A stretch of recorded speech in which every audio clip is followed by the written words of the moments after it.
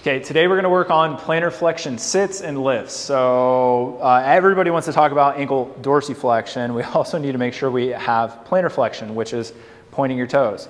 So Seth is simply going to sit back on his heels, making sure that his heels stay pointed at the ceiling. If you look at me and if you let those heels just kind of spill out, you're not quite accessing plantar flexion. You got a couple other motions going. First we want to make sure, can somebody sit back comfortably on their heels? Their heels should be touching their hips What we'll see on a lot of people is they'll still maintain a space underneath the shin. You can see Seth has decent uh, mobility here, even though he said he was feeling a little bit tight. It looks pretty good. Now, if we, I heard a grunt also. Now we're gonna make it active. So he's gonna put his hands out in front of his knees a couple inches, and now he's going to actively lift from the dorsum or the top of his foot until his knees are fully extended, and now he's gonna control it back down. Perfect. We're gonna do one more and control it back down.